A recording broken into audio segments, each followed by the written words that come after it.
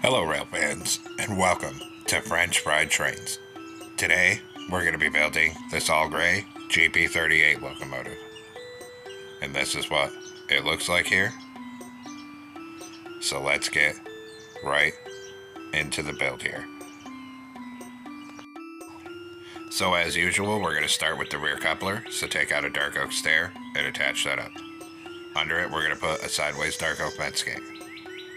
Then, on the next block down, we're going to put five backward facing blackstone brick stairs coming across. Above it, a blackstone brick block in the center, and two upside down stairs on either side. Then come in front of it in the middle and do a three block tall T shape of blackstone brick blocks. Put a torch on either side of the second layer. And then in front of that, we'll do a 5 by 3 of blackstone brick blocks coming out to each side of the tracks here. Then we're going to put three polished andesite slabs in this gap for stairs and three on this side. We're also going to put three on this top middle back here. Then we're going to come down on bottom and we're going to open a dark oak fence gate like this above each of the rails. Then we're going to put two end rods here, two on this side. And on this top middle, we're going to put two mangrove fence gates and a skeleton skull. In front of this on bottom, a fence gate on each rail. Then one block forward from that in the middle, a black stone brick block and a slab. Then two sideways fence gates in the middle. Then a black stone brick slab and a block. Then take out netherite for the wheels. We're going to put one here and one here. And then one here and one here.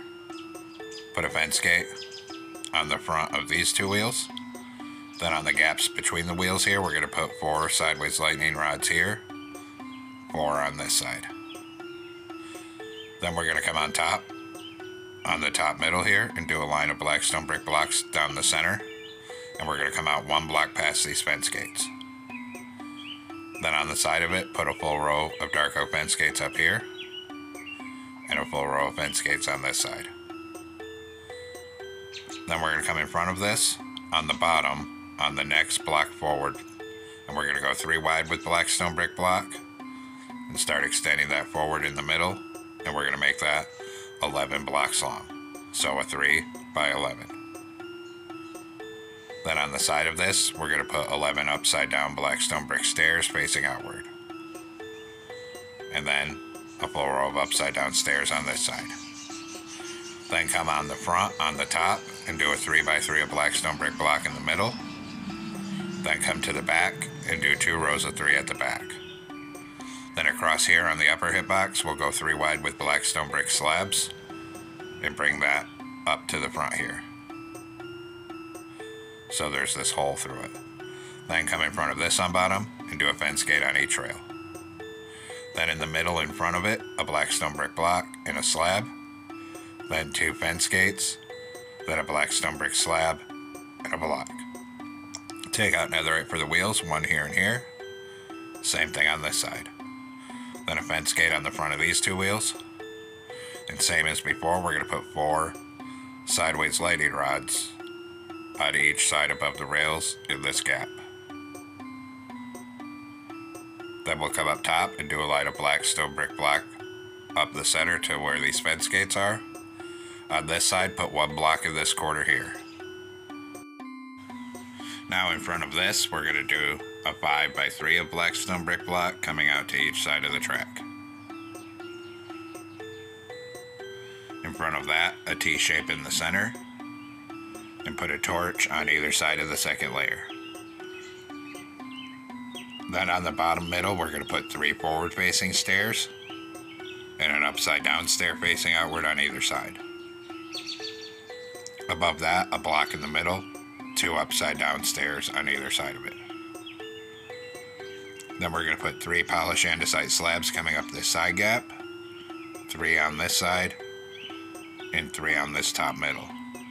Take out a dark oak stair for the front coupler, turn around, and stack it up to this middle second block. Under it, we're going to put a dark oak fence gate sideways, then open a fence gate above each rail. Then we're going to put two end rods here, two here, and on this top middle, two mangrove fence gates and a skeleton skull. Then come on this side where this extra block is, hang a bell. Then on the front of the fuel tank up here, a wither skeleton skull on each side. Behind it, a mangrove button on each side. And behind that, a mangrove sign on each side. Then behind the sign, we're going to put two dark oak fence gates on either side. Come to the back of the fuel tank and put a string on the back of this stair and a string on the back of this stair. Then we're going to come up in front of the fence gates and do a line of sideways anvils until one's out over that string. And then same thing on this side until it comes out over where we put that string here. Now come on the sides of the wheel and put a hopper on each wheel. Same thing on this side, hoppers on these wheels.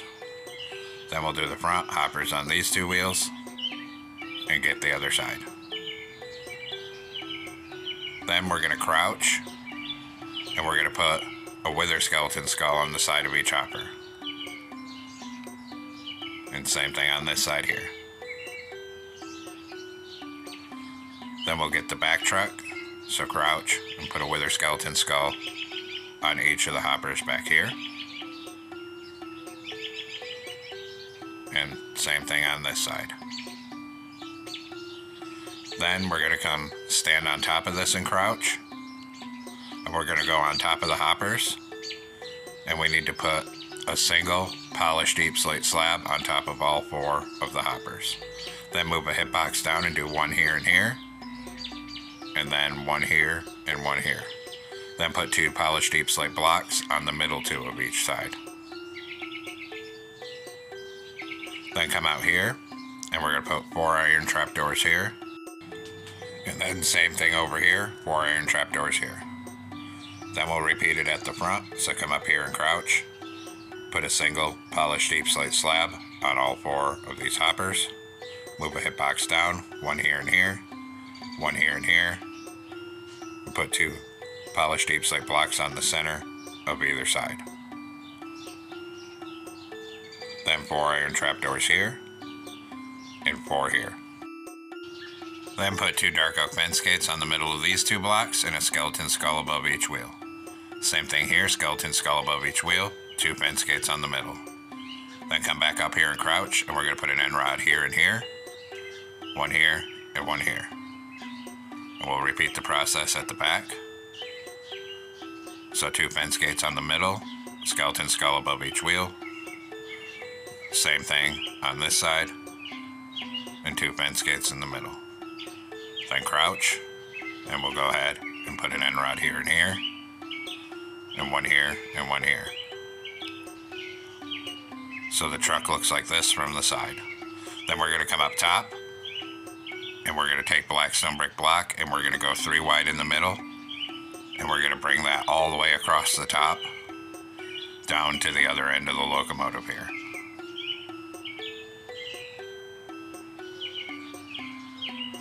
Then, once we have that, we're gonna come on the side on this upper hitbox, and we're gonna go end to end up here with polished andesite slabs. And then same thing on this side, end to end up here with polished andesite slabs. And now the base of the locomotive is completed here. Now come on top of the front on the third block in and change this one and this one to gray wool. Then do a pattern of three light gray concrete like this and make it three blocks tall. Then we're gonna put three light gray stained glass panes in this corner and three on this side. Then we'll come on behind it here, right here, two columns of three light gray concrete, then two in the middle, one here, and a brewing stand. Then a concrete above it and a column of three behind it. On this top middle, put three light gray wool, then a temporary block in the middle, put a trap door here, open it, and take out the temporary block. Then we're gonna crouch on top of this, and on the front of this trap door, hang a light gray banner. Then come down on the bottom here, put two light gray shulker boxes here, and two here. On this side, do four light gray shulker boxes coming back, and then a light gray concrete. On this side, just four shulker boxes. Then on this side, put a light gray concrete here, and four more coming back. On this side, a light gray concrete on top of the back here, and four coming forward. Then, up here, we're going to do three light gray concrete, a door here, turn this way, and a door here. On this side, three light gray at the back, a door here, turn forward, and a door here. Then we're going to come down, and we're going to crouch, and we're going to hang two light gray banners over this side door, so it hides it on the side. And then same thing on this side, we'll come over here and crouch, and we'll hang two light gray banners on the side of this door to hide that on the side view. Then up here, we're going to put two black stained glass panes and a light gray concrete. Then a white stained glass pane here. On this side, two stained glass panes here, light gray concrete at the back. Then up here, four outward facing polished andesite stairs on top, and four on this side.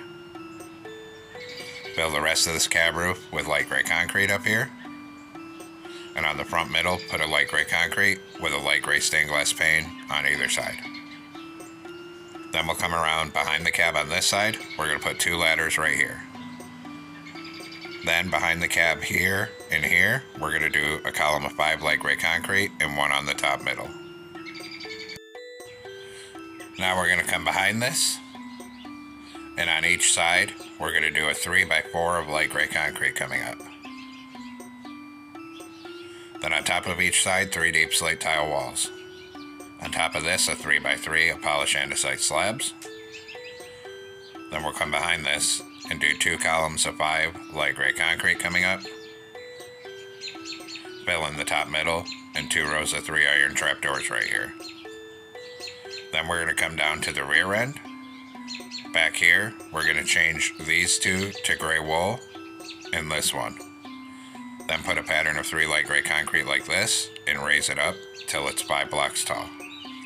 Then five light gray stained glass panes in this corner, five in this corner. Then one on that top middle. Then we're to come up here with light gray concrete on each side and we're to raise it up four blocks tall here and we're to drag it all the way to the back of each side four blocks tall with light gray concrete right down to the back here.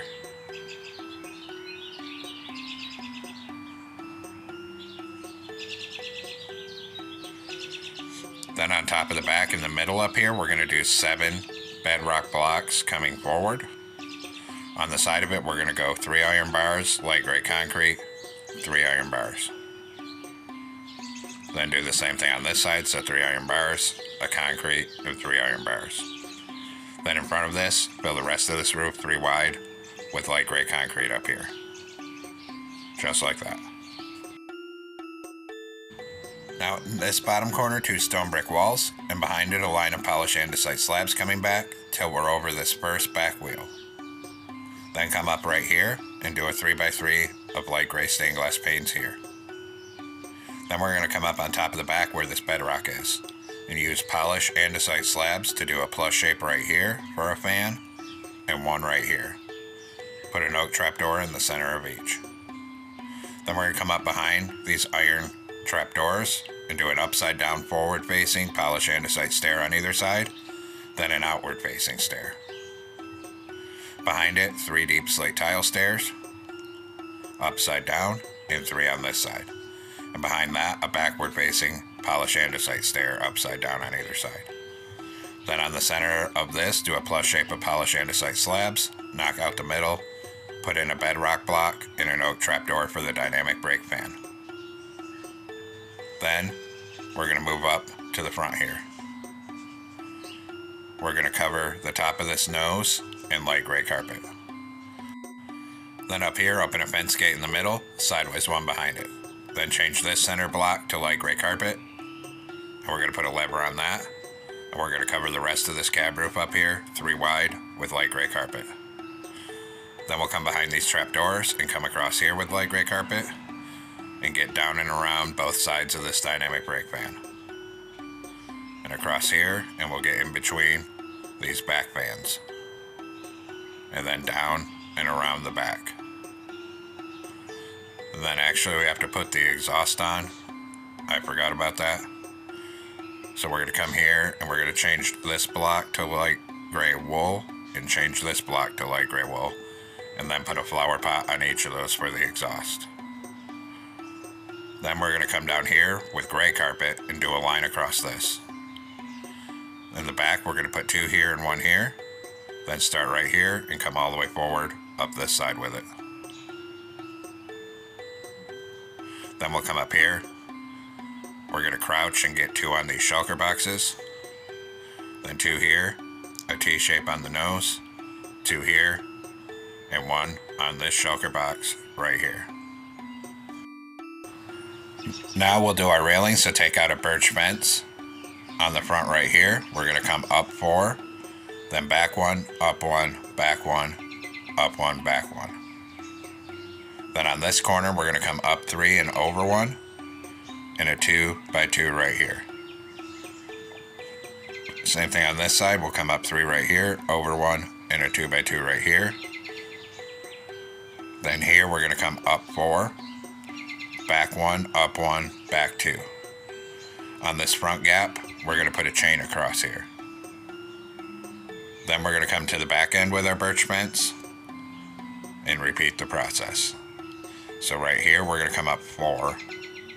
Here, we're gonna come up three, over one, and a two by two right here. Then here we'll come up four. Here we'll come up three, over one, and a two by two right here. And then a chain across this gap. Then come right here and we'll do the side railings. So we're gonna connect our birch fence up to this and start bringing it forward. When we get right here, we're gonna come up two, forward one. So it looks like that. Then we'll do this side, so come to the back down here. Connect your fence up right here and start bringing it all the way forward. When we get right here in front of these walls, we're gonna put one on top like that. Then we're gonna come up front with a glow item frame, put one on either of these fences with a frog light. Then we'll come on this top middle and put a glow item frame with a frog light. And on the side of it, we'll do a dark oak sign with your number, whatever number you want, since this is just a made up locomotive. And hit them both with white dye and a glow ink sac. Then we'll come back here on the back, glow item frame on either of these fences with a frog light. Then a glow item frame with a frog light on the middle here. Dark oak sign on either side with whatever number you're using. Hit them both with white dye and a glow ink sac. Then we're going to take birch fences and we're going to put a column of three here, one above the sign, and then open those for the ladder. Now we'll do the interior, so come on inside the cab. We'll put some frog lights down here for hidden lighting, and then at the same level of the door, we're going to fill this whole floor in with smooth stone slabs here. In this back middle, put two blast furnaces. Then we're going to put a stair here and here for seats. On the front middle, a netherite with two levers for the control stand. And now the inside's done, and we can come back out. Now we have to do the other cab windows, and for that we're going to make a banner. So come into a loom, black banner, light gray dye, put a border on it, and make the bottom half light gray. And then we'll come and place these. On this side it goes on the back of the cab, and we're going to put it right here like that. Then on this side, we put it on the front right here. We can't do the other side because we have the door there. So there we have it, folks. We've completed this all gray GP38 locomotive. I hope everyone enjoyed the build. Thanks for watching. Don't forget to like, comment, and subscribe. And everyone have a great week. Stay safe out there, rail fans.